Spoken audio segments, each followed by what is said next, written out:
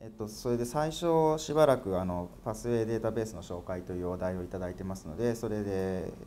えー、概要をお話しして少し後で実習的に触っていただこうかなと思っています。はい、改めて、えっと、自己紹介忘れておりましたがライフサイエンス統合データベースセンターの片山と言います。よろしくお願いします。それで、えっと、最初にですねパスウェイデータベースとは何かということで1枚スライドを作っているんですけどあの基本的にはタンパク質とか遺伝子のネットワークそこにあの化合物とかを含めた代謝系のなんかそういう分子間相互作用のネットワークみたいなものをデータベース化しているというものが多いかと思います。でそういうものをわざわざデータベースにする目的としてはですね網羅的に遺伝子のネットワークを見てえ見たいということですねあの個々の研究者は生化学のパスウェイのごく一部の部分を研究されてるわけですけどそれをこの生物種全部が持っているパスウェイっていうのはどうなっているのかっていうことを理解したいとそういう意味で、えー、いろんな論文に断片的にある知識を集めてきて全部つなぎ合わせたもの知識の集大成みたいなものを作ろうとしてます。でこれが一旦あると自分が注目している遺伝子とか自分が興味持っている表現系とか現象を、えーまあ、担っている遺伝子っていうのはどこでどういうふうに働いているのかっていうことがあの分かりやすくなります。で特にこれは自分が研究している分子に関しては論文に載ってる内容が載ってるだけなのでそれほどあの役に立たないと思われるかもしれないですけど自分がゲノムプロジェクトをやるっていうようなことになったりとかそれからまメタゲノム解析をするとかそれからなんかがんの細胞から取ってきた発現変動を全体で見た時に何が変わってるか見たいそういうオーバービューが見たい時にはあの詳しくないパスウェイも一生懸命こう勉強しなきゃいけないんですけどその取っかかりとして非常にいいでしょうと。で応用範囲としてはですねあのゲノムアノテーションが、まあ、一つは大きいと思います。なんかどっかから微生物を取ってきてそのゲノムを決めて遺伝子が5,000個ありました。この生物はどういうパスウェイを持っててどういう、え代謝をできるのでしょうか。そういうことを調べる。でそれで分かったら、まあ、遺伝子に機能を予測したものをつけていくと。それから2つの生物種もしくは複数の生物種で主観比較をしたりあとこのパスウェイはどういう生物群が持っていてどういうふうに進化してきたのかとそういう解析をすることにも使われています。それから、えっと、むしろ、えー、医学系医学系の皆さんがよくお使いになるかなと思うのは遺伝子発現みたいな先ほど小野さんの講義であったようなデータをパスウェイに、えー、マッピングすることによって今自分が持っているデータでは、えー、どういうあのことが起きているっていうふうに見れるのかということをエンリッチメント解析などと呼ばれると思うんですけど、まあ、そういうことをするのが、え、もう一つの目的かなと。で最終的にはですねさらに数理モデルを1個ずつ作ってシミュレーションしたりとかそれからそのパスウェイのフラックス解析みたいなことができると非常によろしいということなんですけど、えっと、一応データベースには2段階あると思っていて1段階目は知識を集大成したマップを作るっていう作業でその次にそれぞれのパスウェイを構成している要素がどういうあ仕組みでどういう割合で動い相関しながら動いてるのかそこに数理モデルをくっつけてシミュレーションするっていう2段階があって今はあの両方が並行して進んでいてまずマップを作るっていうデータベース化が先行しているっていうのが現状かなというふうに思います。で、えっと、最初にですねパスウェイって言葉で説明しましたけど絵で見るとこんなイメージですねでこれは非常に有名なあのマップなんですけれどもまあ、ここら辺にちょっと小さいですが化合物が載っていて酵素反応で、まあ、代謝系のマップとして、えー、有名なものがあります。これ今ロシュって書いてますけどもともとはですねベーリンガー・マンハイム社で作られていたものです。で1965年にこう壁に貼れるポスターとして出版されたので、えー、とちょっと年配の先生方はあの研究室の壁に貼られてた方もあるんじゃないかなと思います。あと99年に書籍版が出てて、まあ、これぐらいの発の本が出てます。ただですね、まあ、あの更新は印刷では結構難しいということで、えー、94年にあのスイスのバイオインフォマティクス研究所 ExPASy っていうウェブサイトで、えー、電子版が公開されてたんですけど去年あのロシュの方でその電子版を、まあ、このウェブサイトで、えーと、公開するようになったということで、えー、ございました。でそのページのトップページを見たのがこれですね。なので基本的にはあのパスウェイのデータベースっていうか全体像っていうのはここから始まっているんじゃないかなと私は思います。でえっとまあ、そういうものがあるんですけどあの絵だけではやりたいことはいろいろできないですね人が作った絵を、えー、活用するっていうのはなかなか難しいのでそれぞれあの遺伝子のデータベースとつなげたりとかいろんなことをしたいということで、えー、後で紹介するケッグとかバイオサイクみたいに最初エコサイクっていう大腸菌の代謝系のパスウェイのデータベースだったんですけどこういうものが約20年前に作られ始めました。でその後というかま並行してですね当時ゲノムプロジェクトがすごく進展していました。でゲノムプロジェクトが進展していくと遺伝子のアノテーションとかを標準化する先ほど何度も名前が出てる Gene Ontology みたいなものが整備されてきたり人の病気を、えー、もうちょっとパスウェイでちゃんと理解したいとかそういう形でいろんなパスウェイがもう作られてきていますというのがまあ簡単な歴史になりますね。で Gene Ontology は先ほど話が出ていましたけれども、えー、ウェブサイト Gene Ontology .org っていうところがホームページになっていて主にあのアメリカの Gene Ontology Consortium っていうところに参加しているメンバーの人たちが国際的にあのメンテナンスをしていますで何をやってるかっていうと遺伝子の機能をアノテーションする時にハエと大腸菌で同じ単語を使ってくれないと論文に見るとなんか違いますよとそういうことが起こるのでこういう用語を使ってこのリン酸化はあの書きましょうとかなんかそういうことをですねあの定義してるんですね。でパスウェイを含むあの概念的な階層を全部整備してそういう標準化をしてますと。でただですね概念っていうのは見方によって何通りもありうるので biological なプロセスであると。それから cellular component 細胞の中の小器官。それから molecular function ですね。その一個一個のタンパク質の機能っていう3つのカテゴリーに分けて、えー、たくさんある言葉をリストアップしてそれを階層的に整理しているというものになってます。でまあ、ご存知の方が多いということだったので大体これで、えーますが、えーとまあ、ウェブサイト開いていただいてあの自分の興味のある概念とか遺伝子名を検索すると、えー、それに関連する情報が、まあ、表示されると。でゲノムアノテーションに関わっているような人たちはそれを使ってアノテーションをしてくださいっていうことですね。で現状はですねあの全タンパク質のデータベースである UniProt だとか全ゲノムのデータベースに対して Gene Ontology を使ったアノテーションっていうのがもうほぼ機械的にされていますのでゲノムのデータベースを見るとその遺伝子の機能が書いてあってそれは遺伝子 Gene Ontology でいうとこれですよっていう対応があの貼られているものがほとんどだと思います。はい、でこれはですねあのそうパスウェイのデータベースの中で紹介するのはどうかなと思ったんですけど後で紹介する論文にちょっと関係するので紹介します。で基本的にはこの中にはパスウェイらしい絵は出てこないです。あのなんとか例えば MAP kinase cascade っていうパスウェイで働くっていうのはどう記述するかみたいなそういう terminology のデータベースなんですけど、まあ、イメージとして絵のデータベースで、え有名なのが KEGG になります。これは、えーと、京都大学の方で金久稔先生らが、えー、開発してきたデータベースで、えー、 Kyoto Encyclopedia of Genes Genomes っていうものの略称ということになっています。で、えー、そうですね今年ちょうど20周年を迎えたということで、えー、と対象としているのがですねゲノムが決まった全生物種ということで最初は多分数十数百生物種から始まったんですけど今数千生物種とにかくゲノムが決まったらあのまあ、シミュラリティとかでこの遺伝子はこのパスウェイに載ってるこれこの酵素に、えー、でしょうと。そういう推測をすると。で最初にそのパスウェイの絵を描く部分あ絵を先に見た方がいいですね。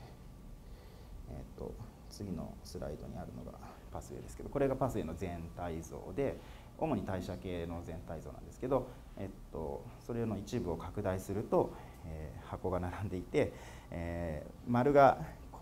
化合物で箱が酵素ということになってますけど、え、で緑色がついてるところはその生物種が持っていて緑色になってない白いままの箱のところはその生物ではこの酵素今のところ見つかっていませんアノテーションされていませんということになります。でこの化合物をこの化合物に変化させる酵素っていうのはこれですよみたいなことがまずっと書いてあるわけなんですがこれのリファレンスとなる情報ですねこの今の酵素反応が、えー、まあ、いろんな論文に書いてあると。そういうのを一個一個読んで集めてきて、えー、白地図を作ってます。でそれに対して残りの数千生物種をあのシミラリティで自動的にマッピングしているのでマニュアルキュレーションと自動アノテーションと両方やってるデータベースになります。でこれは毎年というか2年に1回 NAR っていう、えー、 Nucleic Acids Research っていう、えーと、ジャーナルの、えー、お正月号にデータベース特集号っていうのが出るんですけどそれで毎年毎年何が変わったかっていうことが紹介されているので、えー、より深く知りたい方は論文を読んでみてください。後でこの KEGG に関してはちょっと実習をします。で、えーと、実はで私 KEGG 作ってた研究室にあの長年おりました、ね、 KEGG の中の細胞周期のパスウェイとか作ってたんですけどもう離れて長いので実はそんなにパスウェイの専門家じゃないの。ご了承ください。でですね KEGG を目の敵にしてるアメリカのピーター・カープ先生という方がいてですね、えーと、彼らが作っているのがあの BioCyc っていうデータベースになります。で彼らももともと微生物の代謝パスウェイから始めてで今は人を含む5,000生物種ぐらいにあの対応させるということをやってます。これもあの一個一個の酵素反応みたいなものは文献等から、えーと手動でマニュアルキュレーションしてそれを他の生物種に自動的に、まあ、配列の類似性とかであのアノテーションをつけているということです。で今バイオサイクっていう名前になってますけどもともと大腸菌 E コーライの、えー、サイクルっていうことでエコサイクっていうので始まってそれを少し他の生物種に広げたメタサイクっていうのがあったんですけどこの後ガーッとゲノムが増えてきて数千生物種になって今は、えーとバイオサイクっていうものの中にこれが全部含まれるような形になっています。ウェブサイトを見てこれも後でちょっと実習で見ると思うんですけどこれは大腸菌のやつですね。なんかここら辺に線でいろいろ書いてあるのが一個一個がまあ代謝反応のステップを示していて多分ここら辺がクエン酸回路だったりとかそういうことなんですけどこの生物種全体には、え、こういう反応が今のとこ分かっていますよっていう一覧と、まあ、拡大してみるとそれぞれの、え、反応に関わっている基質生成物と酵素反応みたいなものが描かれているというようなものになります。はい、でパスウェイデータベースたくさんあるんですけど今日あの主要なものだけご紹介したいと思っていてその中でもまあ外せないのが今の2つとこの Reactomeになるんですけれども Reactome っていうのは、えーと、ヒトゲノムプロジェクトの進展に伴ってもともと微生物の代謝パスウェイが中心に今まで紹介したパスウェイはも作られていたので人の中で起こっているいろんな制御反応みたいなものをまだまだ書ききれてなかったんですね。でヒトゲノムアノテーションでパスウェイのデータベースを作る必要があるっていうようなモチベーションで、えーと、イギリスのヨーロッパバイオインフォマティクス研究所とかアメリカの Cold Spring Harbor Laboratory とかカナダの、えー、 Ontario Cancer Research Center みたいなところがですねあの共同して人の、えー、まあ既存のですね分かっているパスウェイを集積していきましょうと。これは完全にあの manual curation だそうです。でひょっとしたらちょっとちゃんと知らないですけどあの他の生物種のマッピングっていうところはちょっと similarity homology を使っているかもしれないですけど、まあ、そういうデータベースがあります。なので、えー、ここら辺ちょっと使いたい生物種と目的によって使い分ける必要があるかと思います。この Reactome というデータベースも後でちょっと実際にウェブサイトを見てもらおうと思うんですけど、まあ、トップページがあんなのがあってでちょっとブラウズしていくと、まあ、こんな形で、えー、タンパク質間相互作用みたいなネットワーク図が書かれているというものになります。で最後のユニパスウェイは簡単に飛ばしていいかなと思うんですけれども、えーとこれは今回ちょっと実習でも見ないと思うんですが、えー、こういうウェブサイトに載っているデータベースです。でこのデータベースの唯一というか今のところですねあの大事なポイントは、えーと、タンパク質のデータベースであるユニプロットにあのリンクされているということででユニプロットっていうのはご存知の方も多いと思いますがタンパク質の網羅的なデータベースでそこのキュレーションがあのマニュアルですごく精度高くされているのであのまあ生命科学の世界では一番信頼されているデータベースです。そしてそこには今まで分かっているタンパク質が全て載っていると。でそれの、えー、それぞれのタンパク質がどういうパスウェイで動いているかっていうことはなぜか KEGG とか Reactome 使わずにですねまあリンクはされてるんですけど基本的に UniPathway にあのするような感じになっているということで、まあ、そういう意味であのクオリティが信用できるのかなということでバイオインフォマティクスの人から見るとちょっとそういう意味であの重要なデータベースなので一応挙げておきました。はいえー、と今ざっと4つほど紹介しましたけれどもパスウェイデータベースの進展を振り返りますともともと生化学代謝反応を中心としたリファレンスパスウェイとして KEGG とか BioCyc とか今の UniPathway みたいなものが、え、構築されてきてそれと並行して、まあ、逆に真核生物人などを中心としたリファレンスのパスウェイもいるよねということで Reactome とか PID とかそういうものが、え、整備されてきてあとはこの AlzPathway っていうのはあのアルツハイマー病のパスウェイとかそういう形であのドメイン特化したパスウェイとか生物種に特化したパスウェイみたいなものがだんだんできてきてでいっぱいあるので今度は統合化しましょうっていう観点で Gene Ontology とか Pathway Commons とか WikiPathways みたいなものがまた乱立していると。いうようなのが現状です。で、えっと、それらのデータベースがどういう形で書かれているかっていうと、まあ、それぞれのデータベース独自の形式で書かれているものも多いんですけど、まあ、いくつかフォーマットがあってここら辺をコンピューターで利用する。プログラムが書ける人は利用する。でこういうデータを利用使うツールとしてはエンリッチメント解析ですと、まあ、R バイオコンダクターを使ったものとかいくつかウェブサイト商用アプリケーションなどがあってもう私が全部知ってるわけではないほど山ほどあります。それからシミュレーションに使いたい場合は、えーと、より精度の高いですね。カイネティックスとかフラックスとかちゃんと、えー、数理モデルを書き込んだパスウェイを CellDesigner とかで作ってシミュレーションする。もしくはパスウェイの図の部分だけあのグラフで見たいっていう場合は Cytoscape みたいなソフトウェアを使って可視化するっていうようなことが今のところ行われているかなと思います。で今まで紹介したパスウェイのデータベースプラスアルファをまあすごく私見ですけれども勝手に分類したのがこちらで、えっと、対象としている生物種が、ま限られているものからゲノムが決まればとにかく全部つけましょうっていうものまで横軸があの細胞あ、えー、生物種のカバレッジですねでそれから、えっと、一個一個あの手できれいに論文読んで正しい情報だけつけていきましょうっていうのが手動キュレーションになっていてで、まあ、シーケンスのシミュラリティとかでバーッとこの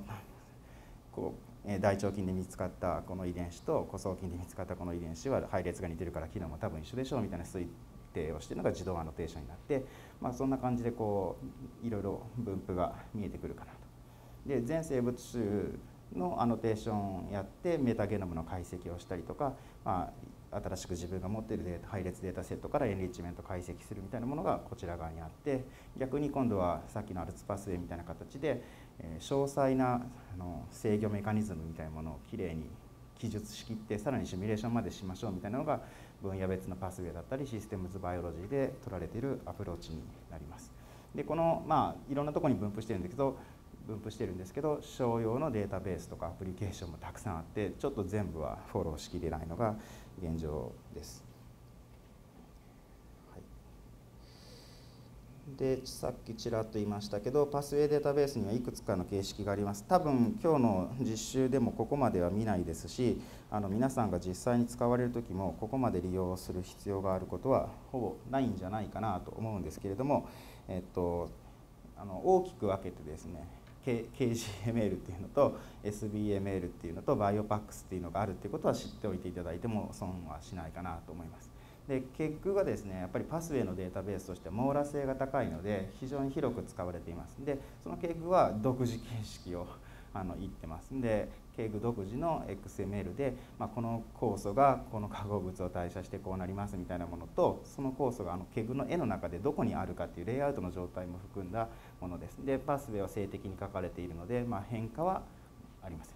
とにかくあの図を再現するのに必要なコンピューター上のデータが記述されたものがこれになります。でプログラムを使って解析したい人はあの絵を読み解くのは大変なのでこのファイルを取ってきてプログラムであのこれとこれがつながっているみたいなものをグラフ構造にしてあのその中でなんかいろいろやると。で systems biology の方では、えっと、SBML っていう、えっと、 markup language が使われていてで BioModels とかですねそういうシミュレーションのための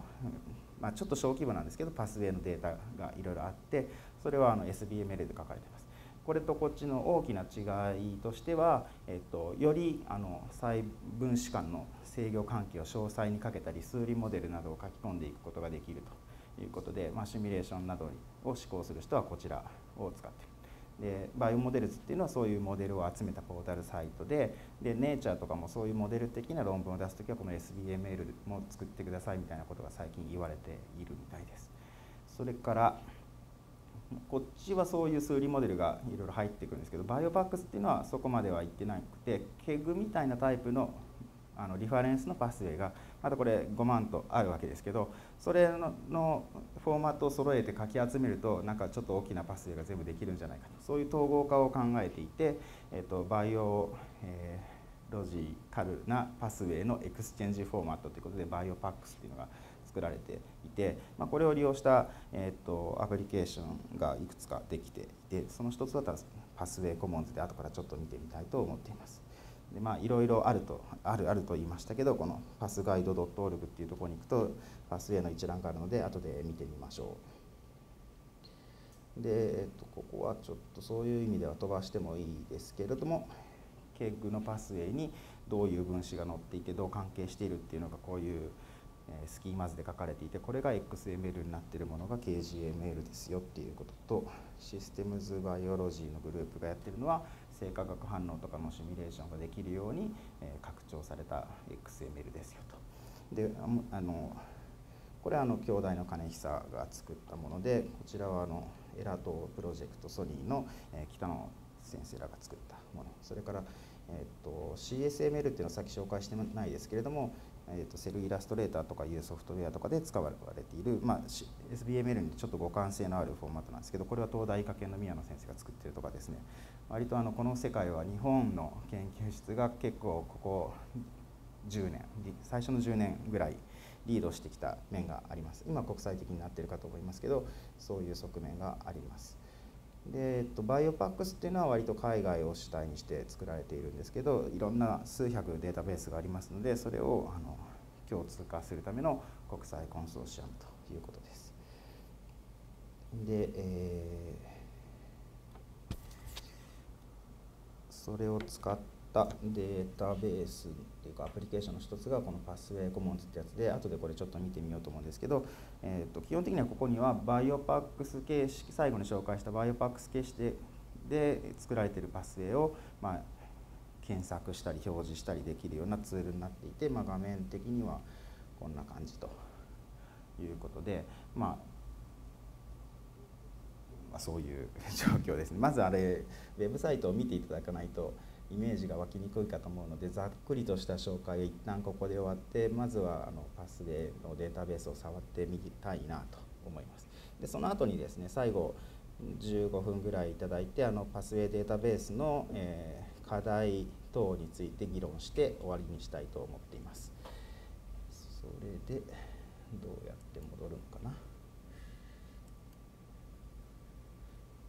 はい、この講義のプログラムのページから実習用資料というところを開いていただくとはい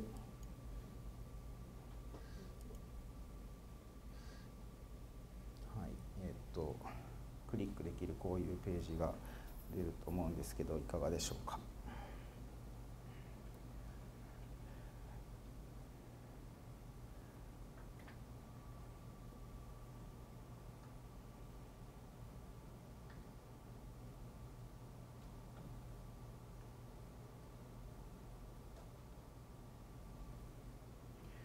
開けた方はですねまず最初にあの一番上にリンクのあるパスガイド .org ってやつを、えーまあ、新しいタブで開くなりしてみてください。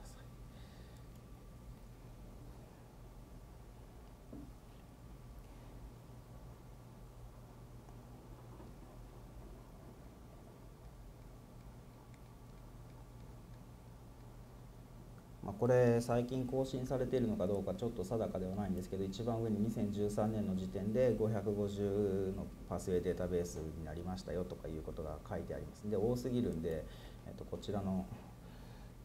実習資料に戻りますけど基本的にはですねあのタンパク質間相互作用これをそもそもパスウェイというのかっていう問題もありますがで代謝パスウェイシグナリングパスウェイえダイアグラムを中心としたデータベースみたいな形でいくつかのカテゴリーに分けてリストアップがされています。でやっぱりあのこれを全部見ていきましょうとか全部紹介しましょうみたいなのは無理なので 自分が興味あるパスウェイで有名なさっきまで紹介した BioCyc とか KEGG とか Reactome に載ってないけれどもこの病気のパスウェイはデータ化されてないのかとか思った時はこういうポータルサイトを見ていただくといいのではないかなと思います。で、えっと、一番下にちょっと、メモを書いてますけどスタンダードって書いてあるとこの欄があの標準化フォーマットの話で、えー、ここ最初の辺はタンパク質間インタラクションで PSIMI っていうフォーマットが使われてる。あと BioPAX っていうのがあると。で、まあ、タンパク質間相互作用基本的に PSIMI で書いてるものが多いのでずらっといきます。あと代謝系のパスウェイになってくるとバイオパックスと SBML がこうあとまあいくつかねセル ML とか他のものもあるんですけど基本的にこう BioPAX に対応しているものが結構あるなということがわかるかと思います。で、えー、例えば BioPAX に対応しているソフトだったら BioPAX って書いてあるデータベースは読み込んで使うことができます。で SBML に対応しているソフトだったら、まあ、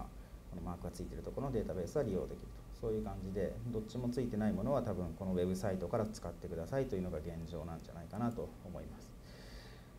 はい、で世の中に山ほどパスウェイデータベースがあることが分かったわけですけど今日はその中でも実績としてですねよく使われているデータベースであるものをいくつか見ていって最終的にはちょっとケグの紹介をしていこうかなと思っています。まずですねあのカウンターパートとしてバイオサイクっていうのを紹介しましたのでこれを見ていきたいと思います。まあこれはもう本当にウェブサイトを見て簡単に紹介するだけにしようかと思いますがえー、まず BioCyc のページに行くとですね BioCyc っていうのはデータベースのコレクションですよと。でその中に、えー、この右下のところにですね BioCyc databases って書いてあるところに Tier 1 2と3っていうのがあると書いてあります。でこれをクリどれでもいいのでクリックすると一枚板のページに行くと思います。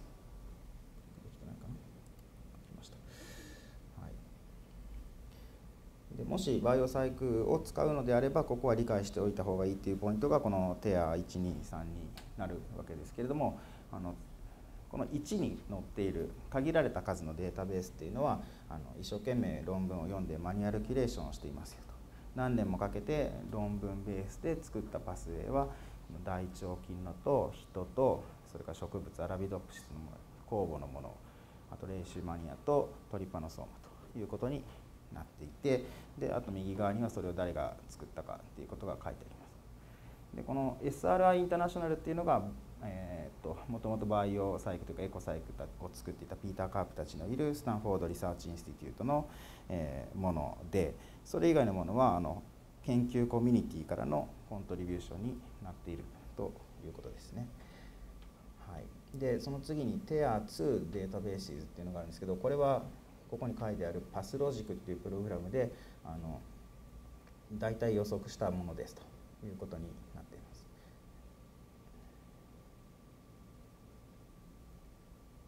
はい、でこれはまあ ひたすら生物種の学名が並んでいるわけですけど、えっと、これらの生物種のパスウェイっていうのは、えっと、比較的信頼しても大丈夫ですよっていうものです。でこのその下にテアさんっていうのがあるんですけどこれも同じプログラムでジェネレートされていますが、えー、とここも基本的にコンピューターで推論しただけのものですと。で現在5455ですか、えー、生物種というかストレインも含めて、えー、微生物から真核生物までこう網羅していますよっていうのがここになります。基本的にこの3種類があることを分かっておいていただければいいかと思います。で好きな生物種をちょっとクリックしてもらったらいいかと思うんですけどここでは、えー、っと何にしてましたっけ？例えばホモ・サピエンスで人にしてましたね。ここのヒューマンサイクっていうものをクリックして手や1の上から3つ目にあるヒューマンサイクをクリックして見てみましょう、えー、ちょっとですねそっけないのでこれからどうするのかっていうのが一瞬分かりにくいんですけどこの一番上にメタボリズムっていうタブがあります。でここのセルラーオーバービューっていうところをクリックするとさっきちょっとスライドで紹介したようなパスウェイらしい絵が出てきます。これ多分他の生物種でも一緒であのこれ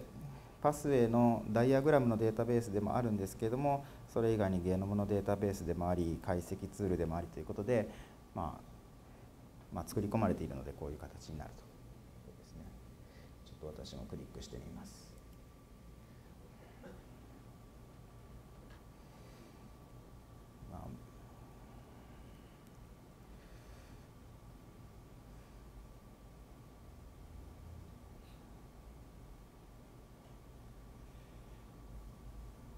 なんで今日は米子からいっぱいアクセスがあるんだみたいな感じなのかもしれないですけど。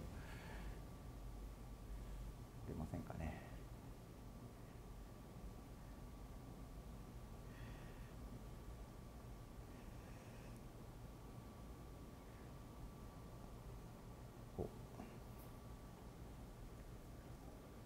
出ました。はい。これがえー、っと BioCyc の1サブセットにおけるパスウェイの一覧でまあここでいろんなことができるみたいなんですけど今日は詳しくは深追いしません。あのここに載っているのが一個一個が遺伝子とそれの関係図であるということはここをズームしていくと分かります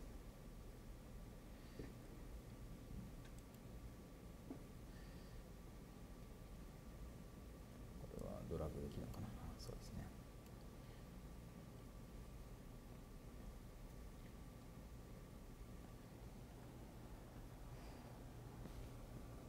まあ、これをどのように利用するかっていうのは結構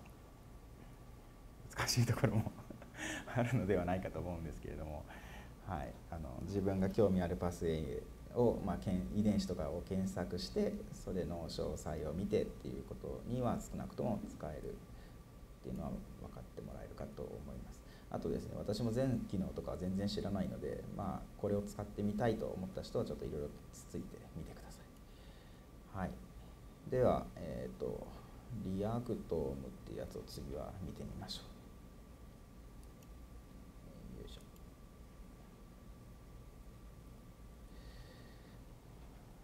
これ開くとですね、あのニューって書いてあるアナライズデータっていうところがあるかと思うんですけど、今回はこれをちょっと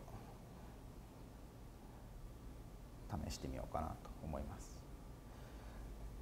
これさっきあの小野さんの講義であったエンリッチメント解析みたいなもののパスウェー版に近いことができる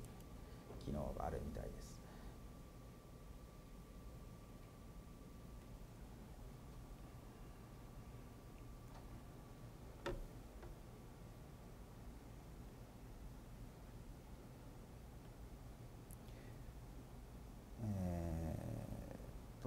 遅いのか止まってるのかが分かりません。あ、来ました。待てばいいみたいですね。はい、で、えっと、まあ、いろんな使い方があるんです。あるんですけれども、この。せっかくなんでサンプルデータを使うということで、ここですね、クリック here to paste your data or try example って書いてある、ここのところを開いてクリックして開いてください。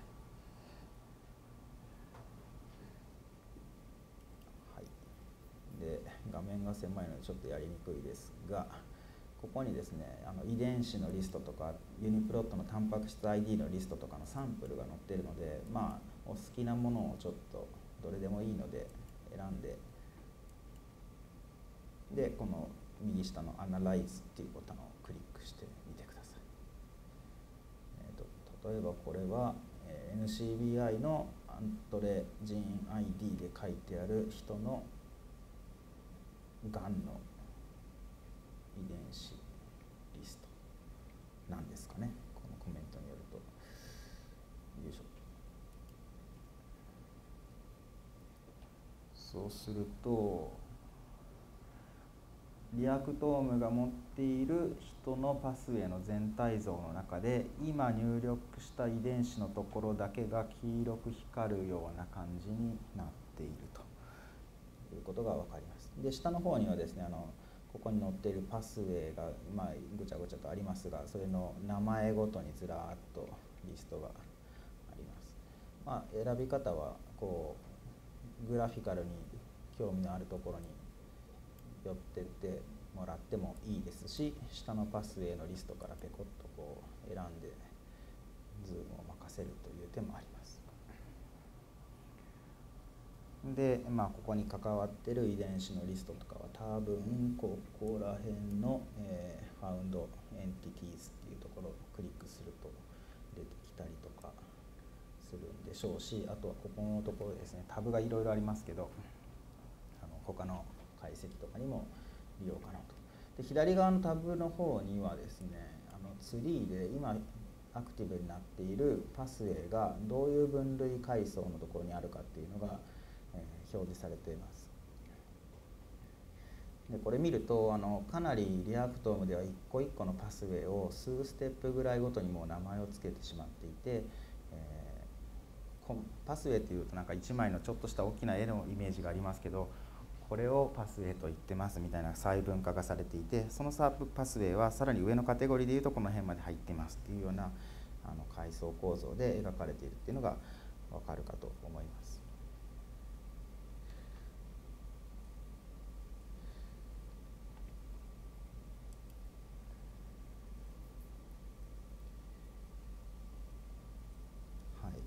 ということであの今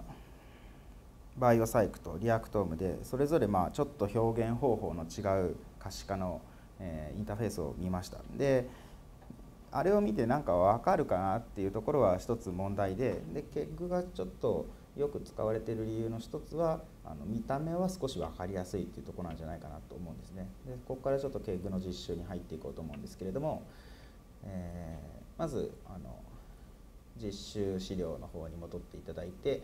ケッグのウェブサイトを開いてくださいというところを、クリックしてください。で実はケッグに関してはあのこの講義シリーズの中で、えー、51回53回54回とあの、え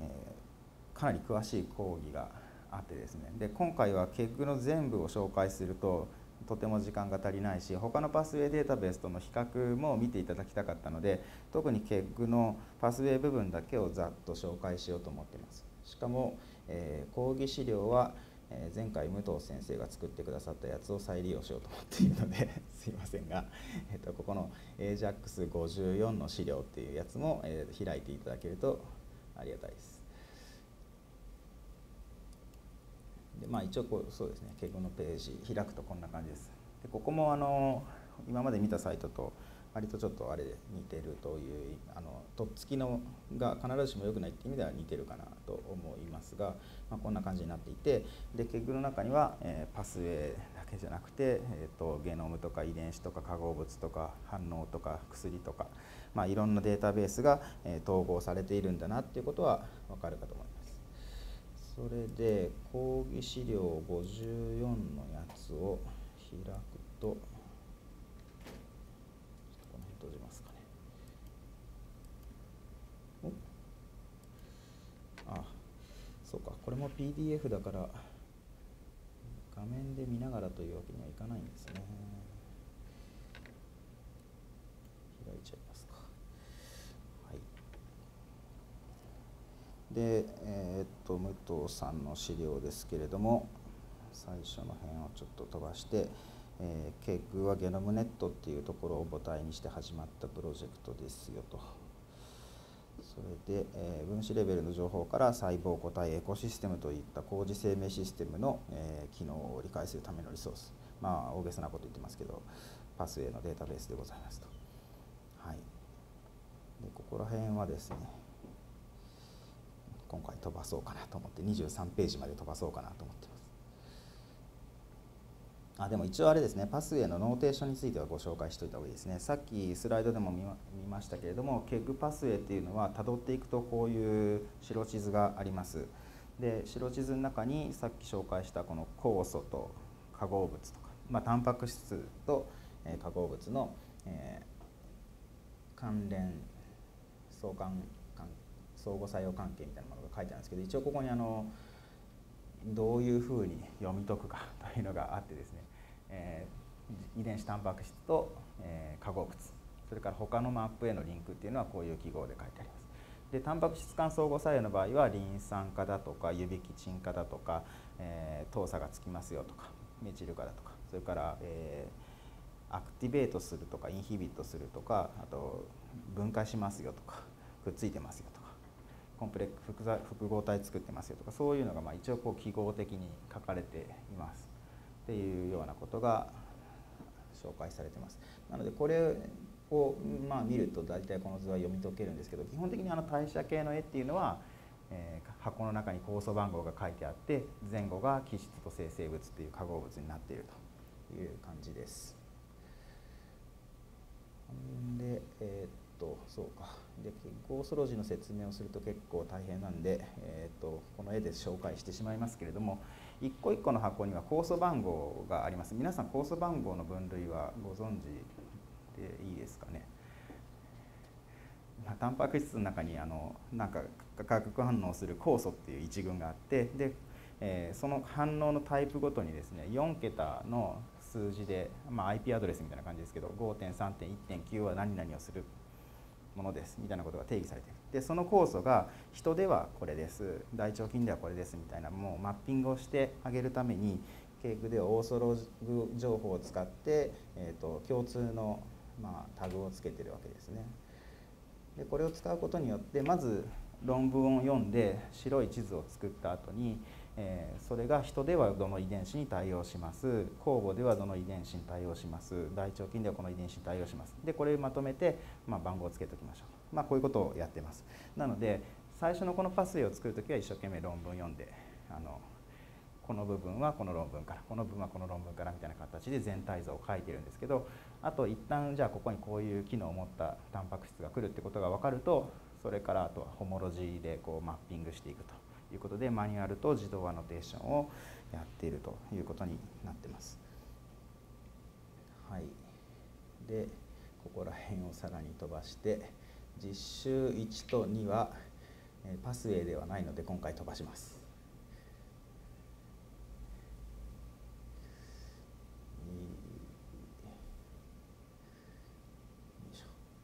はい、でえっとまあ、この通りに必ずしもあの皆さんがアクセスして使うかどうかっていうのはちょっと定かではないですが、えっと、もともと持っているデータが何かによって KEGG の使い方っていうのは結構多様です。で化学反応に興味のある人はひょっとしたら化合物の方から来て最終的に KEGG のパスウェイまでたどっていく。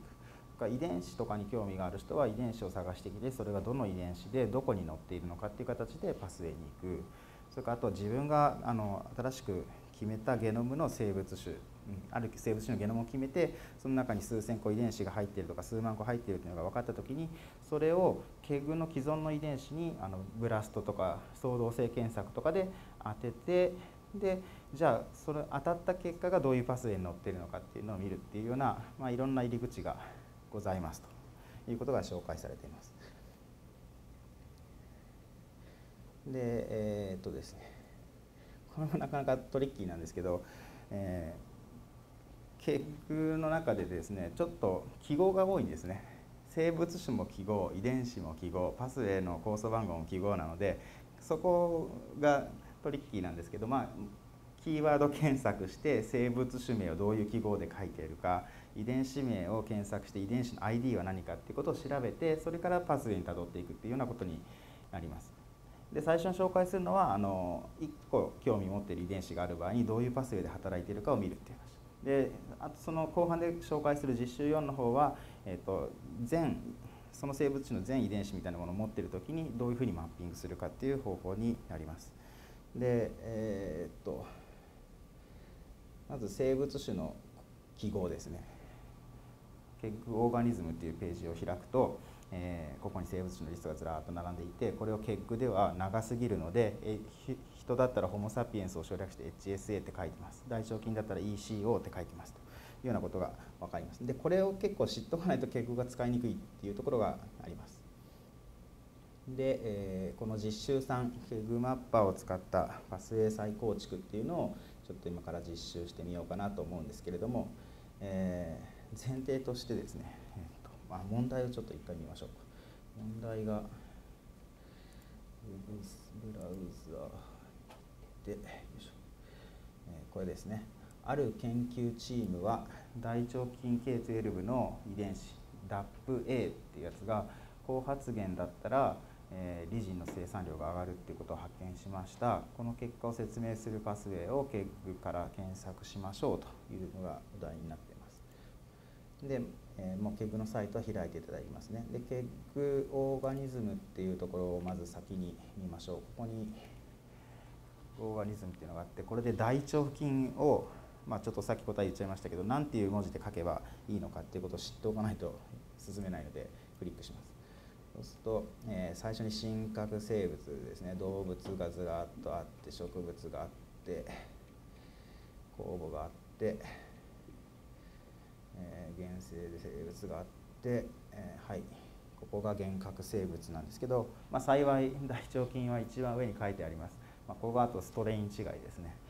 で、えっとまあ、K12 なのでどれでもいいんですけど一応この ECO っていうの K12 の MG1655 一番アノテーションがきれいについてますのでこれを使うということで大腸菌は KEGG では ECO を使うといいというのをまず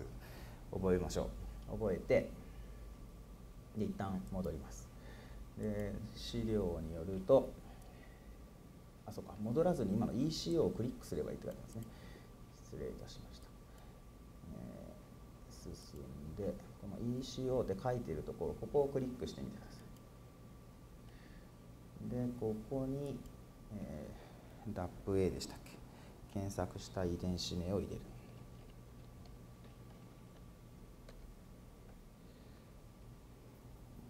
遺伝子名を入れて、まあ、この GO っていうのを押してもらうとこの遺伝子の名前に当たる遺伝子の ID が分かります。はい、でこの B2478 って、まあ、大腸菌業界の人たちはこの B 番号をよくご存知なのかもしれないですが DAPA っていうのはいろんな幻覚生物が持っている遺伝子名ですけれども大腸菌ではこの ID で表しているということが分かります。で、えっと、ここをクリックするとですねその遺伝子の説明がずらっと書いてあって、えー、アミノ酸配列があって塩基配列があるようなエントリーと呼んでますけどそういうページに来ます。で実はこれをケッグマッパーを使って探せっていう話だったんですけども実はここに答えが書いてあるのでもう済ましちゃってもいいかなと思うんですけど、まあ、こういうパスウェイの中にこのタンパク質酵素のあの作用がありますよで特に今リジンのあの生産量が上がるっていう話だったので多分このリジン合成系のパスウェイにあのを見れば、まあ、分かるんじゃないかとでこれをクリックしてみますそうすると、えー、リジン整合成経路の絵が出てきてで今クリックした遺伝子はこの赤色がついてるところに載ってる酵素ですよっていうのが分かるということですね。でえー、っとまあ、このパスウェイを見てなぜリジンがこれが増えると増えるのかっていうことを説明するっていうのはまあそうですよねっていうことしかなくてですねあんまりここにエビデンスはないわけですけどこれが、えー、この遺伝子がそのリジン整合成形にあるキーとなる遺伝子の一つだったからということになるかと思います。この辺から材料が来てずっとたどっていってここまでいくと L リジンが出来上がるとでここが全部つながっていてここが上がると生成物も上がるというようなことです。はいでえっと、本当はですねもともとの問題はケッグマッパーを使って今のことをやってくださいっていう話だったんで一応そこもやるのが続きに書いてあります。まず KEGG Mapper にどうやってたどり着くかっていうのを僕はこの講義資料を見ながら自分でも悩んだわけですが、えー、 KEGG のページに戻りますね。あれ戻らない。なかなか樹海のようなウェブサイトでございましてえっとまたトップページに戻ってもらってこの今度は KEGG Pathway というところを開いてください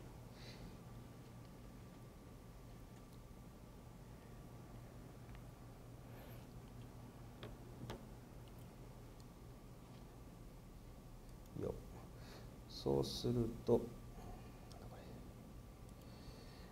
えっ、ー、とまあ先にちょっとスクロールしてずらーっと下の方を見ていただくとですねケッグにある何百というパスウェイの一覧がこう見れます。なのでもう今のでもういいっていう人はここら辺適当なところをクリックしてみてああこんなパスウェイもあるのかと、まあ、ちょっと眺めてください。で開くと白地図になってるんですけれどもえー、とこのリファレンスパスウェイっていうプルダウンの中から人のパスウェイが見たいとかチンパンジーのパスウェイが見たいとか選ぶとですね選んで GO って押すと,、えー、と白地図の中でその生物種が持っている部分にこう色がつくような感じになります。はい、まあちょっとそこは余談なので、えー、と戻りますが。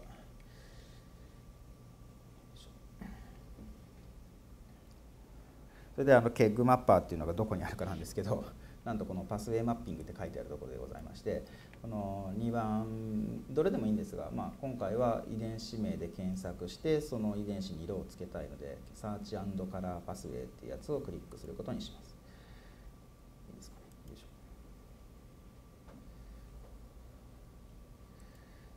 で、えっと、これもですね慣れてないと分かりにくいんですけど最初に ECO が大腸菌であるっていうのを覚えてもらったのはここで必要だからなんですがまあ、このオルグって書いてあるところをクリックすると生物種名を検索することも一応できてですね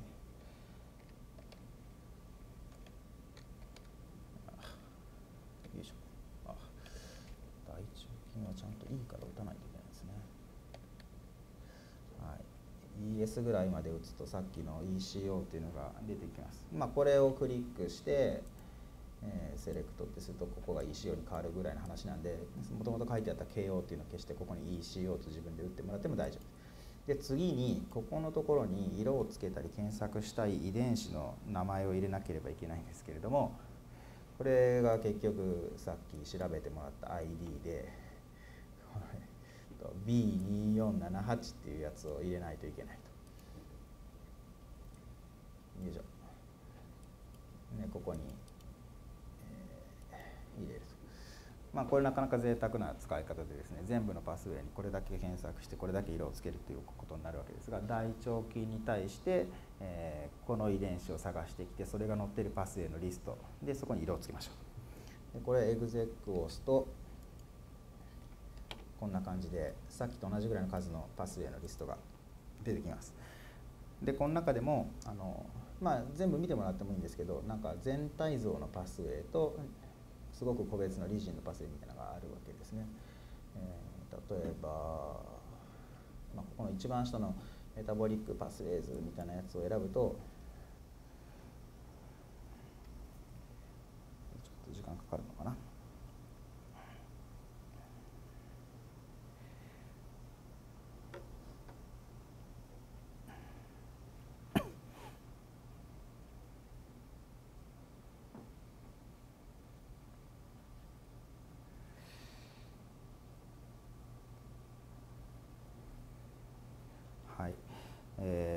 えー、パスウの全体像の中で今のがどっかに載っているっていうのが、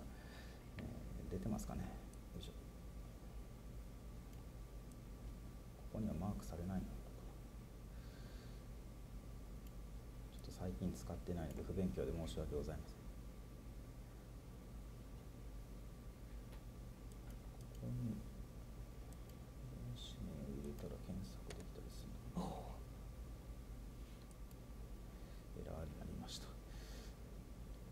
まあちょっとすいません。これが見たかったわけではなくてですねこっちの中からさっきと同じ300番のパスウェイを選ぶとうんとこれはもう一回やってみますか。皆さんが使ったのでちょっとサーバー側のエラーですね。これ出ないわけはないと思うので。あ出ましたね、はい、読み直すと出ました。で、えっと、ちょっと色合いが違いますけどここにやっぱりありますよっていうのが検索できます。で、えっとまあ、やれてることは全く一緒なんですが、えっと、ここにちょっとダラダラっとコメントを書いていますように、えっと、ケッグマッパーを使った方ではですね今遺伝子名1個しか入れませんでしたけど、えー、化合物とか複数の遺伝子を自分の、えーと、好みで入れてもらって、まあ、ここに遺伝子を並べてしかも遺伝子の色とか化合物の色とかを指定してもらって、えー、こういう絵が作れるので、まあ、これを論文に使いたいっていう時に、まあ、図のジェネレーターとして使うこともできますっていうのが利点になります。で、えっと、もう一つここからさらにこの検索結果をクリックしてみましょう。この4.3.3.7っていうのが DAPA だったはずなんですけれどもクリックすると YAGE っていう遺伝子と。それから今の DAPA と。それから、えー、読めないですね。YJHH っていう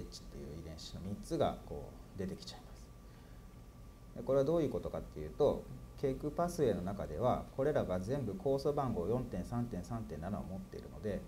一色単にして区別されてないってことなんですね。なので、え、っとこの絵の方では一個一個の箱が必ずしも1遺伝子ではないということには注意が必要でございます。はい、ここまでどうでしょうか？いいでしょうか？はい、じゃあ、えっと、時間もありますので次の実習4っていう方をやってみましょう。こっちはですねあのさらにサーバーが やばいことになるかもしれませんけど、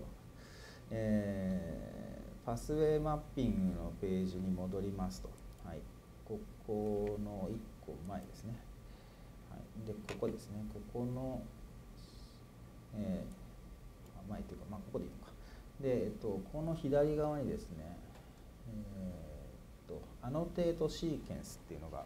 あります。ここをクリックすると自分が持っているあのアミノ酸配列のセットとかを渡してそれをパスウェイに全部まとめてマッピングするっていうことをやってくれます。見えますかね？あのここです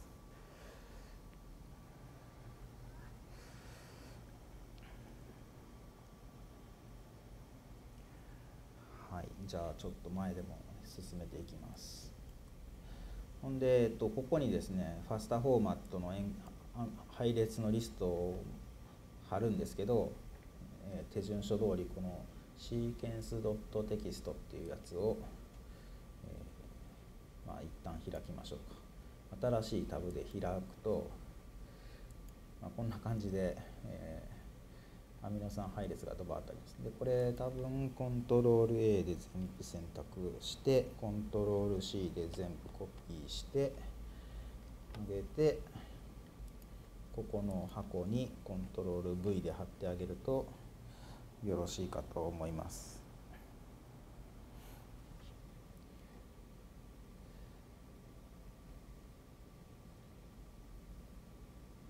おおこうやっていけるのかな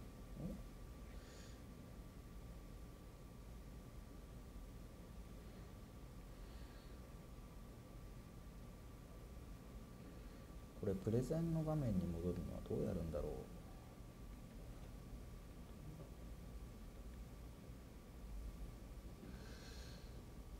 ？PDF を見ながらやりたいんですけどね。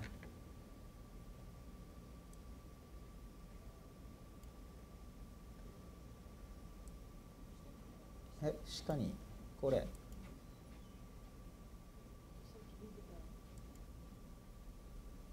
え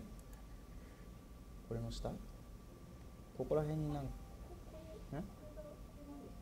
これはエクスプローラーの画面がいっぱいあるんですよ。これはですね多分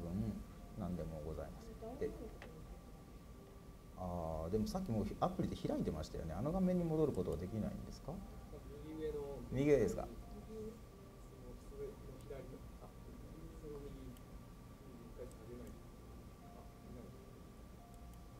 なんかいなくなっちゃうんですかね。一回保存しとけばよかったのかな。そうかもしれません。えっ、ー、ともう一回じゃあこれをクリックして保存したいね。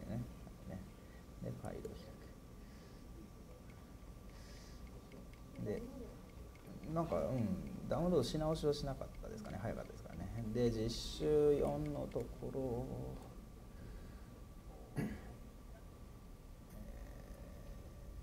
とここですか。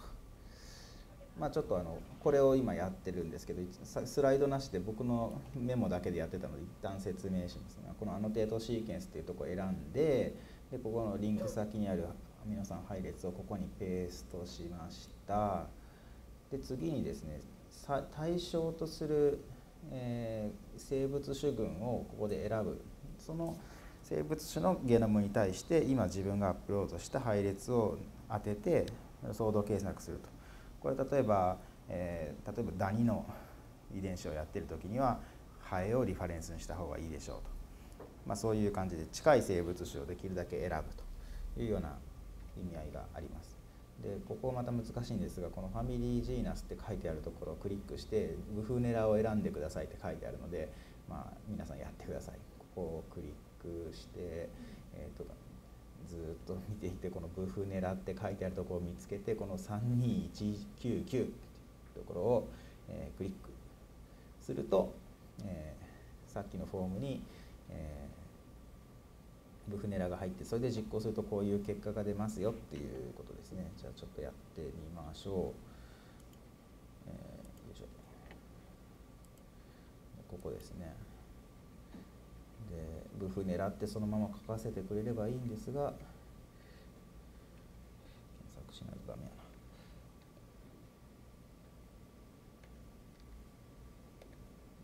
な。はい。この32199の方を知ってないとできないとどうなった？あ入りましたね。ここにこの番号が入ってて横にブフ狙って出てたら準備完了でエグゼックボタンを押してみてください。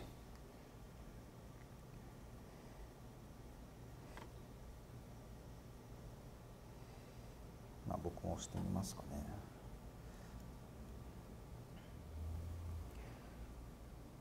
一応練習で試した時には1分ぐらいで結果出てましたけど皆さんがやった時にはどうなるのか。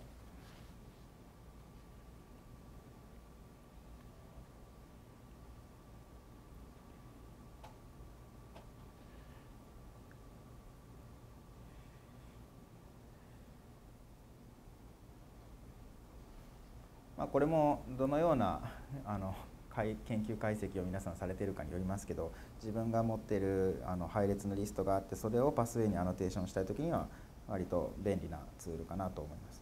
だから入り口が2通りあって遺伝子の ID のリストを渡すかそれか遺伝子の配列を渡して類似性でパスウェイにアノテーションするか、まあ、こんな感じですね。えっと、資料とさっき見てた PDF のスライドと違ってこの白色の unclassified っていうのが結構減ってこの数ヶ月で減っていてあの Genetic Information Processing の遺伝子が多いような感じになってますけど、はい、でさらにここで Reconstruct Pathway っていうのをクリックすると、えー、さっきまで見ていたいろんなパスウェイの絵に今自分があのサブミットした配列がどこに当たっているのかっていうのが色がついたものが見れますということで、えー、興味ある人はちょっと見てみてください。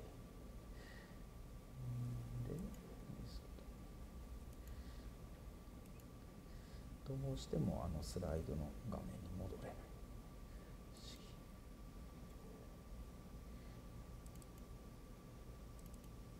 あ来た。こういうことか。はい。そうなんですよ。これこの武藤さんがこの資料を作った時にはアンクラシファイドが一番多かったんですけどアノテーションが進んだんでしょう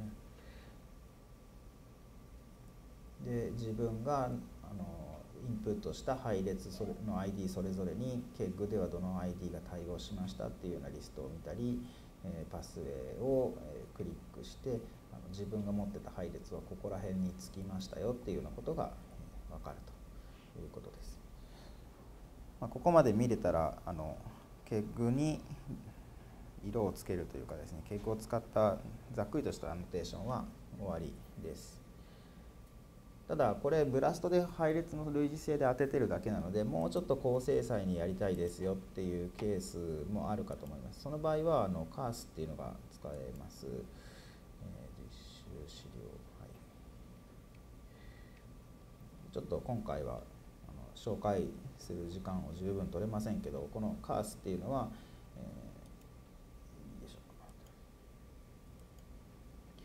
ー、えっ、と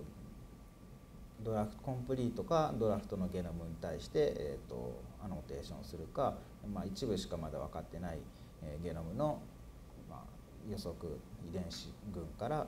パスウェイを再構築していくというようなことができたりあとメタゲノムのデータから、えーと、その生物群衆がどういうパスウェイを持っているのかということを推計するのに使えるツールで、えー、細深いというかですねもう少し詳しい説明はこの AJAX51 の守屋さんの資料をご参照いただければと思います。はい、で以上があの KEG のウェブページでできる実習の、えー、今回やろうと思ってた内容になるんですけどここまで何か質問がある方はありますか？じゃあここから先はですねあのパスウェイ解析において注意しておいたらいい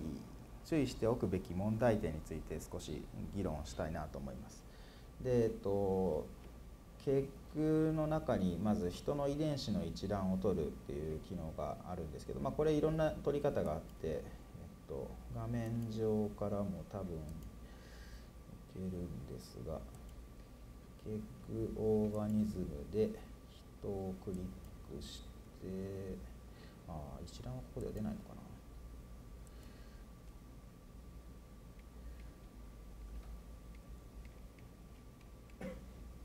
一覧出ないです、まあ、一覧が欲しいというよりは何個遺伝子が登録されているのか知りたくて、まあ、ここにあれ一応ありますね。プロテインコーディング遺伝子が、2万398で RNA 遺伝子が1万9000ありますと。こういうことが書いてあるんですけどこれ自分で数えたい場合はこの REST API っていうプログラムから使う方が便利なやつをちょっと使うといいかなと。こうやってやってみるとこの KEG の人の遺伝子 ID とその機能の一覧っていうのがずらっとあってこれが3万数千行あのありますっていうのがここに書いてあることですね。3万9700以上。これ多分えー、っと今見ていたページを置いたこれこれとこれを足したものになっているかと思います。でじゃあ、えー、っとこの遺伝子の中でパスウェイに載ってるのはどれですかっていうことなんですけどまずパスウェイの一覧っていうのもここで取れるのでこれちょっと見てみま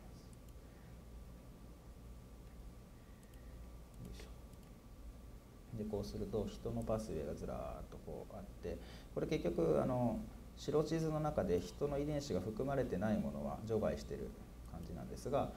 えー、と296個のパスウェイに人の遺伝子が載っていますよってことが、えー、とさっき数えたら分かりました。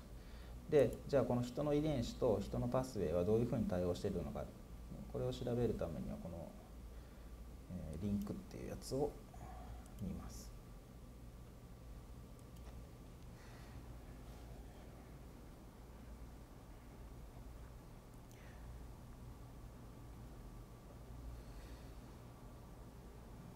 遅いですね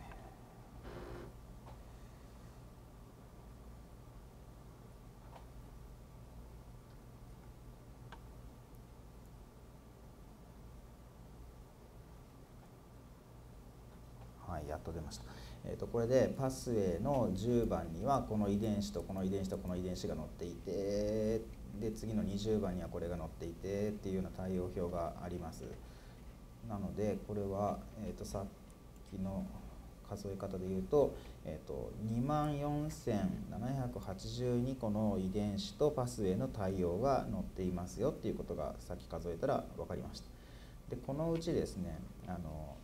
実際じゃあ2万もともと人には3万9726の遺伝子があるっていうことをさっき数えましたけど、えー、2万そのうちの2万4782個の遺伝子が全部パスウェイに載ってるのかっていうとよく見るとここにあの同じ遺伝子がですね他のパスウェイにも出てることが往々にしてあるわけなのでこの2番目のカラムのここだけダーッと取ってきてで重複がないようにして数えるということをやってるのがえ次のコマンドで2番目のカラムを取ってきて層としてユニークにして行数を数えるそうすると実は6896個しかないということがということはですねもともと全部で3万9000あったうちの6896個しかパスウェイに載ってないのでパスウェイに載ってる人の遺伝子っていうのは全体の17.4%ぐらいであるということが分かるのであの人の遺伝子のパスウェイあの人の遺伝子をなんかさっきのジオ Gene Ontology を使ったりパスウェイを使ったりしてエンリッチメント解析するときに載ってない遺伝子についてはこれぐらい考慮されてないってことは頭に入れておく必要があります。っていうお話。でそれから、えーと、この6896個のうちどういう遺伝子はいろんなパスウェイに出てるのかっていうのであの頻度順に並べ替えるコマンドがここにあって、まあ、これ実行した結果なんですけど例えばマップカイネスとかはいろんなパスウェイに出てるので83回も登場してますと。下手すると同じパスウェイ1個の絵の中に2箇所も3箇所も出てることもあるわけです。で逆にあの一度しかないような遺伝子っていうのはあのたくさんこっちもたくさんあります。でえっとここに右側にこうこれがマップカイネスですよとかいうことは、えーと、僕が頑張ってつけたんですけどどうやって調べればいいかというと、まあ、これいろんなやり方があってプログラムを書けばこの10個につけるとか一瞬なんですが、えーと、ケグのページでこの遺伝子の ID で検索するとその説明が書いてあるので、まあ、それを見てくださいということになります。えー、そうですね、まあ、例えばこの人の1002番という遺伝子は何なのコピーして、えー、ケグのウェブサイトを開き、え一番上のところにピコッと貼っ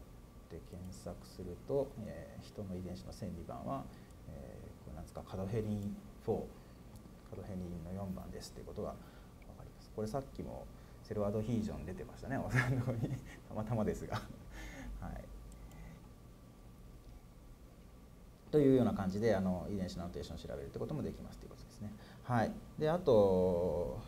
ちょっと雑多な話をしてスライドに戻ってあのパスウェイ解析の問題点を、えー、15分ぐらい講義して終わろうかなと思ってるんですけどその前にですねさっきBioPAX 形式っていうのでいろんなパスウェイが使えますっていうのを見ました。この実習の一番最初に見た Pathguide っていうところにずらーっと並んでたやつで右側に BioPAX って書いてあったのが結構あると思うんですけどそれを利用しているウェブサイトがこの Pathway Commons にあるのでこれもちょっと見てみようかなと思います。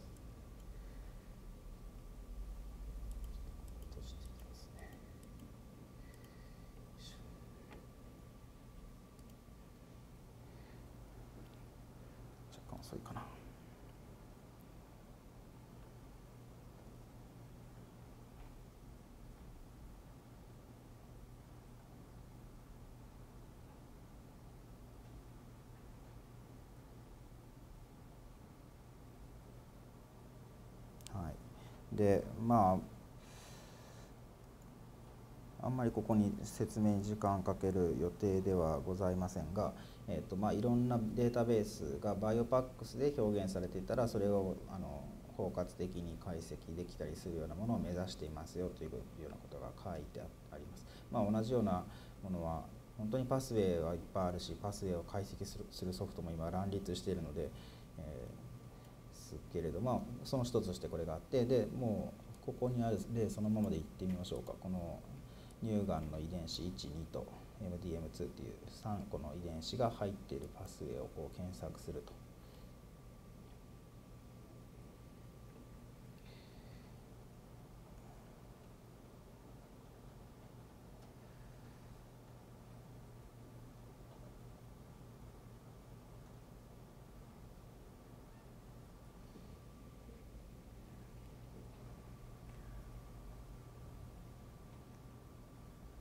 込んでくれてるのかどうかが分かりにくいわけですが少し時間かかったかもしれないですねこれは。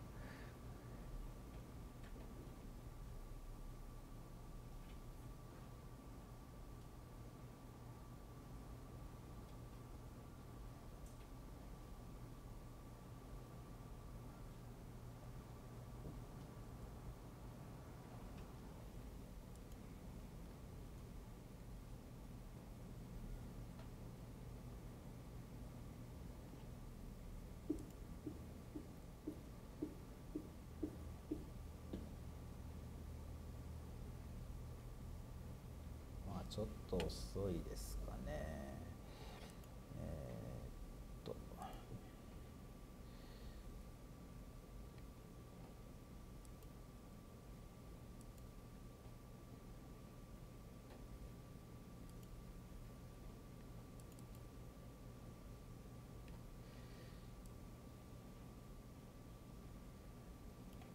まあ、うまくいくとこういうものが見れたりします。この遺伝子にそうあのパスウェイ上で関係のある遺伝子群とかが見れてしかも、ま、パスウェイによっては制御関係とかが書いてあればこのエッジの色で反映されてたりとかいろんな解析ができるようなえーと、ツールになっているようです、はい、ちょっと時間もありますので、え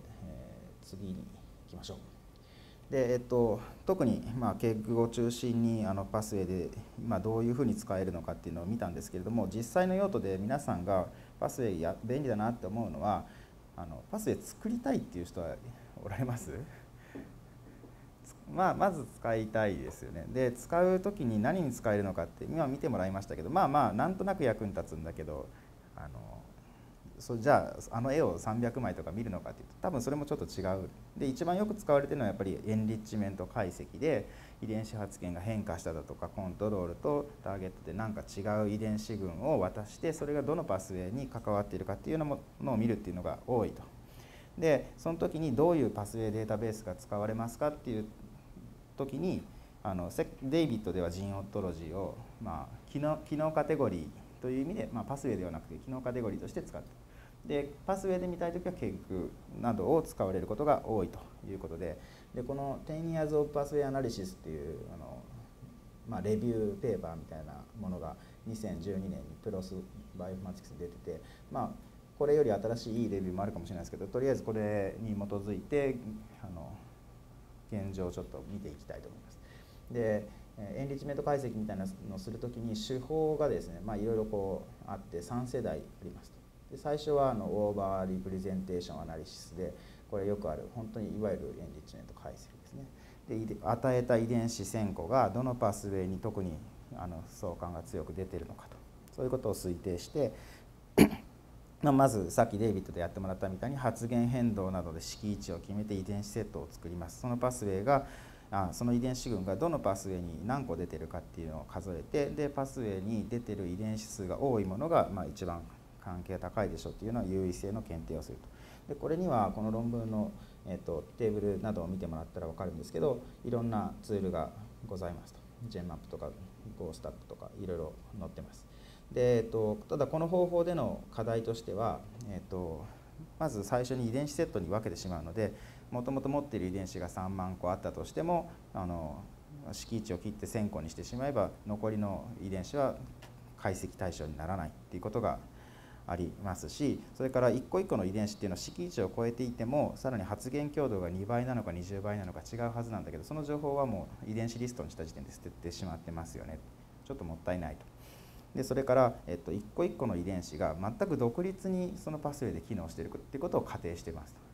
でも実際は遺伝子同士のいろんな相互作用していますしかもパスウェイとパスウェイもなんか MAP kinase cascade のあとは別の cell cycle のパスウェイに影響してますとかそういうことがあるんだけどそこら辺も関係ないと。仮定してこのパスウェイ1番ではあのこれぐらいの頻度でした。っていうようなことを2番ではこうでした。っていうようなことをやってってるのでそこら辺にちょっと問題がありますよっていうのがあの書かれてます。で次にあの functional class scoring analysis と彼らが分類してる FCS と分類してるものがあってじゃあ、えー、とさっき3万個の遺伝子のうち1000個しか見なくて残りを捨ててるっていうような問題があるって言ってたので、え、変動が弱くてもとにかく全遺伝子を入れて影響があるかどうかっていうのをあの取りこぼさないようにしようと。ということで各遺伝子の発現レベル変動など統計値を計算してじゃあそのパスウェイに載っている全部の遺伝子の、ま、合計だとかなんかある値であのそのパスウェイに対する相関性みたいなものを計算すればあの全部の遺伝子を一応見たことになるんじゃないかということがあの言われていてそのためのツールが、えーまあ、いくつかありますよということが紹介されています。でただこれも、えーと、各パスウェイはあの相互に関係がないっていうところはあのまだ解決できてない問題で実際には複数今ケークで見ましたけど1個の遺伝子が78回も出てきてたりするわけであの複数のパスウェイに関係する遺伝子も多いのでそういうあのアーティファクトの影響は受けますと。それから遺伝子の変動からランク付けした後はあのその変動量の fold の違いみたいなものは無視されがちな解析が多いですということが挙げられてました。それから3番目としてはですねじゃあ、えーと、パスウェイ上で何個あるかとかその遺伝子の値を全部足し合わせはどうなのかとかそういうだけじゃなくて本当にパスウェイ上で近いところにあるか遠いところまであるかっていうのまで見ましょうっていうのが、えー、パスウェイトポロジーベースのあの解析こういうことをやるツールもいくつかありますと。で、えっと、ジンオトロジーとかではパスウェイに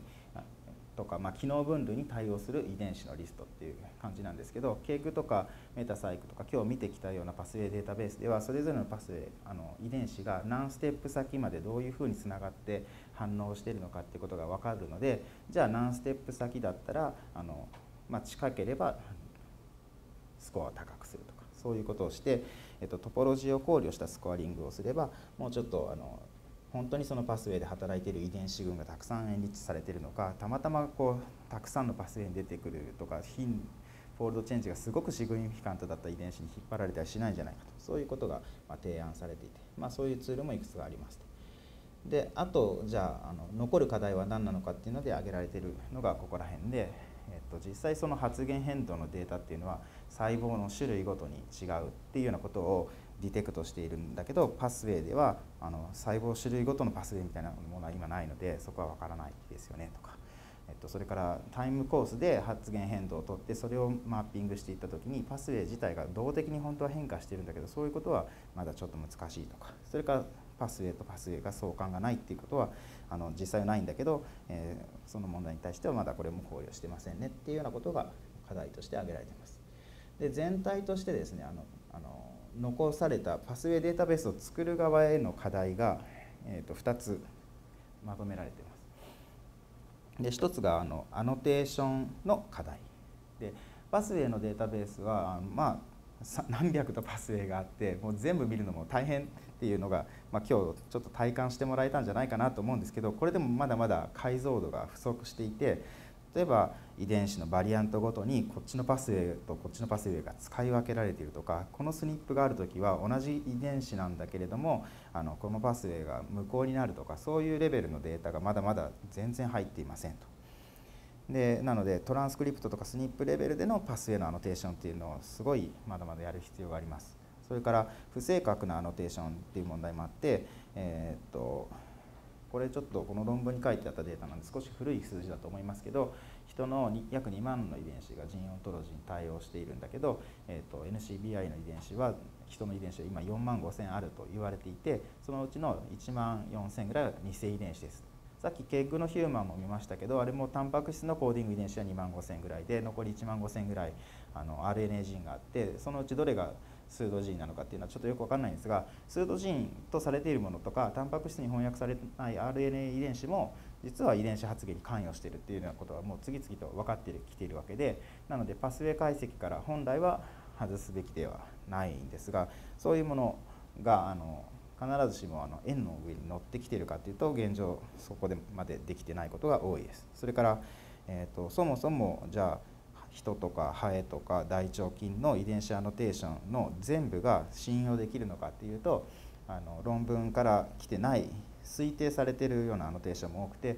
まあ、これは Gene Ontology の場合ですけど他のデータベースでも基本的には一緒であの配列の類似性やその他の指標であの遺伝子のマッピングをしているようなものっていうのは本当かどうかっていうことはまだ誰も確かめてないと。それから、えっと、実そのパスへのこの反応がありますっていうことを論文から取ってきたとしても結局あのこの遺伝子とこの遺伝子がこう関係あって次にこのタンパク質に影響してとかこの化合物を代謝してみたいなことを書くときにそのエビデンスっていうのはどういう実験をした時に得られたのかとかどういう細胞種ではそれが成り立ったのかとかそういうメタデータがもうがっさりと 抜け落ちているのであの先ほど言ってたこういう、えーバリエーションごとに違うだとか実験条件ごとに違うみたいなことをあの表現しきれる状況ではまだないです。これがあのデータの方の問題でこれを使って解析する側の課題っていうのは、まあ、これはプログラム書く人たちが頑張ればいいことなんですけど基本的にパスウェイのデータベースもたくさんありますがパスウェイを解析するソフトウェアもたくさんあって何をどれに使えばいいのかっていうのは僕らでもわからないところがあります。なのでじゃあこのデータセットを正しくアノテーションできるんですか？っていうベンチマークがあるといいなってことなんですけど、まあ、そもそもそういうデータセットっていうのが不足していてシミュレーションで作ったデータセットでは当たるけどリアルなバイオロジーのデータでは当たらないとかそういうこともありますしデータベースごとにあのパスウェイの粒度が違うと。さっき Reactome とか Gene Ontology では数個のあの反応ステップを1個のパスウェイにしていてみたいな話がありました。でケグではもう1枚の絵が1個のパスウェイっていう単位になってて、まあ、それを細分化したモジュールとかも最近できてますけどどこまでを切り取って1個のパスウェイっていうふうに定義するかっていうのがデータベースごとに違います。なのであの比べるのが結構難しいですよっていうことですね。それからえっと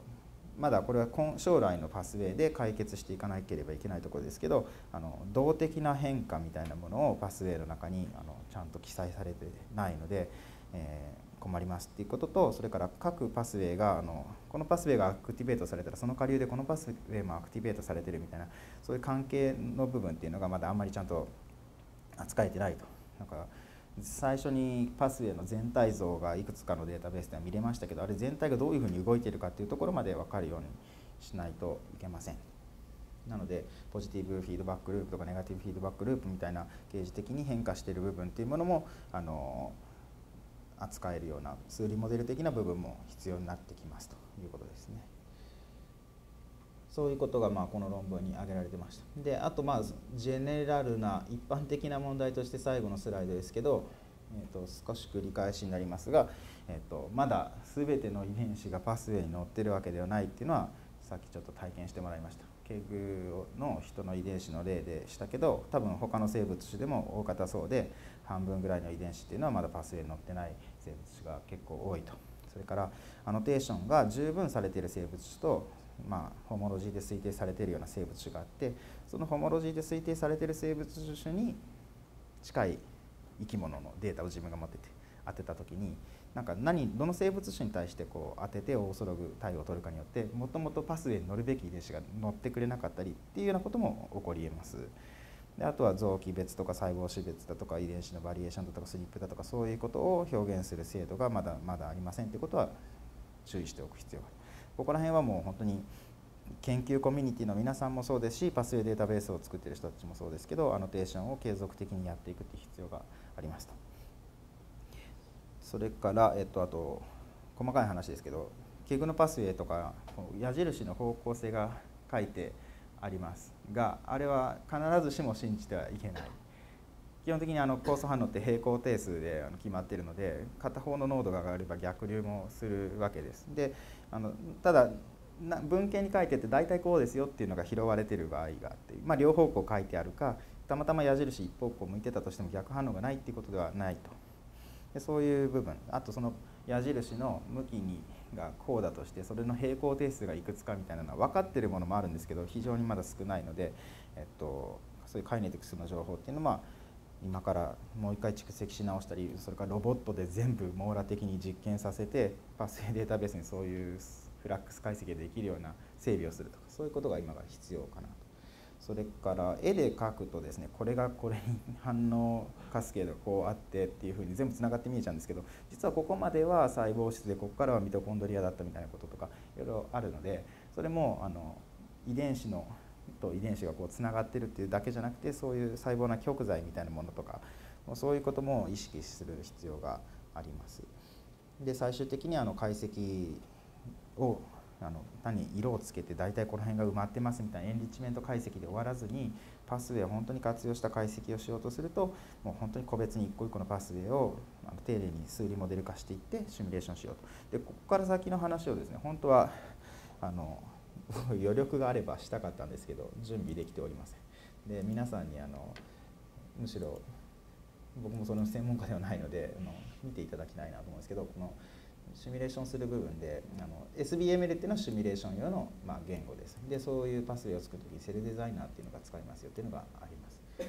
えっと、そういうものを使って作られたモデルの一覧が BioModels っていうところにあってここにあるあのパスウェイを取ってきたら自分でシミュレーションしたりすることもできます。であとは AlzPathway みたいなあの、まあ、これ本当に一例でたまたま挙げてるだけなんですけどこの CellDesigner とかを使って高精細に作られたパスウェイっていうのも存在します。で CellDesigner 立ち上げるとこんな形になっていてそれぞれの反応がこう、まあ、 notation があってですね書くことができてでさらにそこにこういう数式で、まあ、微分方程式解きましょうみたいなことでソルバーを設定するとシミュレーションまでできるんですけど多分この R2 パスウェイではそのこれが先にリン酸化された後リン酸化されたものがこうここに activate してみたいなことが書いてあるだけでシミュレーションに使われているわけではないと思うんですけどあのバイオモデルズにはそういうものもいっぱいあります。でそこら辺について詳しく知りたい人は最近僕もちらっと見てるんですが北野先生の本を読むといいんじゃないかなと思っていてえ、っと、アマゾン。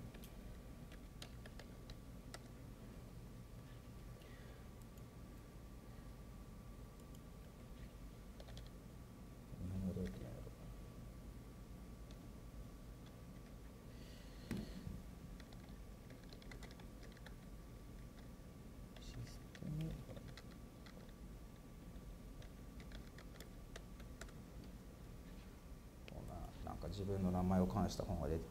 出ちゃってるんですけどドクター北野の出るから始めるシステムもあるしこれに北野先生が20年前ぐらいにこうシステムバイオロジーでやってそういうモデルでシミュレーションしましょうみたいなことがあの経緯とともに解説してあるので、まあ、今からはですねあの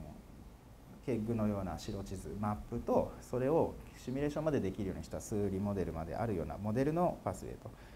パスウェイデータベースが多分2つあって知識の集大成としてのマップとモデルのパスウェイっていうのが相互補完的に作られていくんじゃないかなということを期待してます。これができるとさっきスライドで紹介した論文とかにも書いてあった問題点のいくつかはあの解決されてあの皆さんのデータを使ってあの理論モデルを作ってで次にどういう実験したらいいかっていう仮説検証までできるようなパスウェイデータベースがいずれできるんじゃないかまあ、そういうことであのここは紹介だけになってしまいましたけれどもあの全バスパスウェイデータベースの現状とこれからの様子についてご紹介いたしました。